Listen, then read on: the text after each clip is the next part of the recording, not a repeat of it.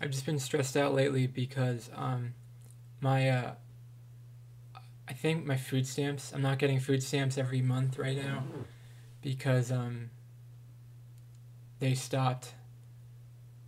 Um, in June, I think they stopped putting in my account. Um, I still have a food. I still have money on my card, enough for probably a while, probably more than a month. But I just, I almost think I'm my account's messed up. Like they're not gonna put more in. Like I almost think I need a new account, and I get really confused when I talk to them on the phone because I don't know what to say to them. I don't know what to say to the food stamps people. I, I know I have to do the application again. I guess I talked to them yesterday. I guess I have to do the application again. I guess I do it like every few months or something and then I probably have to prove that I have a disability. So my mom will write them a letter or send them a letter in the mail saying I have a dis- disability. I'm on the spectrum of autism. Um, and that's how I get food stamps. It's just I worry. Be- I worry that uh, they're gonna take away my old card and they're gonna take away the money on my old card and they're gonna start me on a new account. And so I think I'm gonna wait to do that until I use some of the money on that card. Um,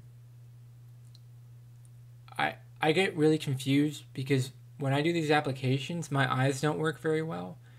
In general, I have a my eyes do not work very well, and I have trouble doing the application. Um, my teeth are yellow. Um, I need to do the application, and my eyes don't work very well, so it's hard to do the application. Uh, my hair is messed up because I was just lying in bed and I was taking a nap in the middle of the day. Um,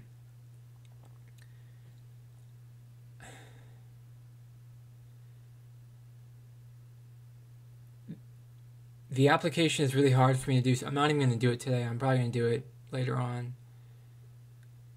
Um, it, it's overwhelming to be honest. I don't think this is gonna be a long vlog today because uh, I'm not feeling very well today. I'm feeling kind of tired. Um, but yeah, basically I need to do my food stamps application again. And they make it really frustrating and hard and I wish I wish they gave it out more easily. I wish it wasn't a big ordeal to get the food stamps but they make it into this like complicated thing um, and it's hard. It's hard to f- continue filling out the application have my mom send the letter to them and it's just a hard process. I uh, i don't know. I wish life was easier in general. Um, is there, any, is there anything else i have to say? Um, i think that's it. This is going to be a short video today. Uh, let me know in the comments below. Do you get food stamps do you do you in your state do you have to reapply every few months? Uh, is it hard for you to get food stamps? Um, let me let me know what you think about the process in the comments below.